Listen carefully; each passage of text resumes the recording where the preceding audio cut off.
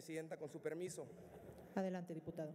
Compañeras y compañeros, el día de ayer aprobaron un presupuesto triste para el país, un presupuesto que no beneficia a las necesidades que demanda la gente y los ciudadanos, que sigue beneficiando y priorizando el asistencialismo y no la productividad, un presupuesto que sigue dotando de recursos a obras faraónicas como el Tren Maya, la refinería, y dotándole de recursos adicionales a petróleos mexicanos, a una empresa que está totalmente en quiebra, que no cumple con sus obligaciones, que no paga sus derechos de utilidad compartida y que al día de hoy eso pone en condiciones críticas a los estados y municipios.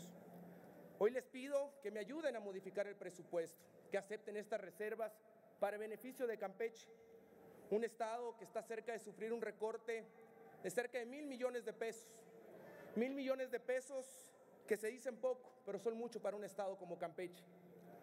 Hay que decir la verdad, hay incremento en ciertos rubros, en el FASA, en el Fondo de Nómina Educativa, en el Fondo de Aportación de Infraestructura Social, pero en un rubro crítico para nosotros, el Fondo de Extracción de Hidrocarburos, hay un decremento brutal. Se está subestimando el precio del barril y el tipo de cambio. Lo que pedimos es que si hay una diferencia en el tipo de cambio y en el precio del barril, sea para las entidades federativas y no para la federación.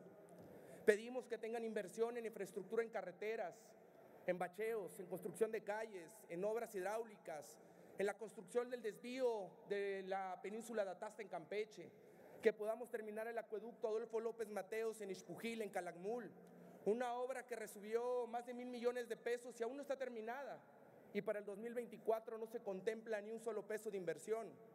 La pregunta aquí es si ya está terminada, si ya llega el agua a las comunidades y si se construyeron los ramales para que no falte el vital líquido.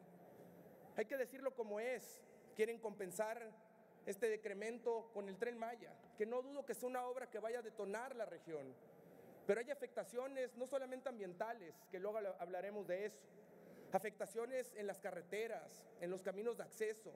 No se les olvide que por Campeche pasaron todas las maquinarias, camiones, transportes de carga para la construcción de esta obra y destrozaron nuestras carreteras y nuestros caminos.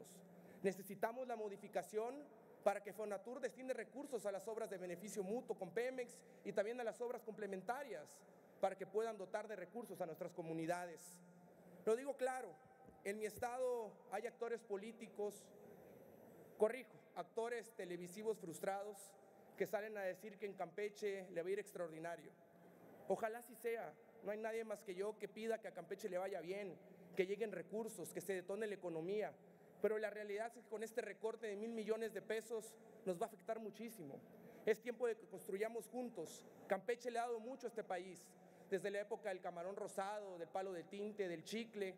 Somos patrimonio cultural de la humanidad, hoy por hoy el petróleo, pero México, amigas y amigos, le ha quedado de ver a Campeche. Espero nos puedan ayudar y votar por esta modificación. Muchísimas gracias, Presidenta. Gracias, diputado. Consulte la Secretaría.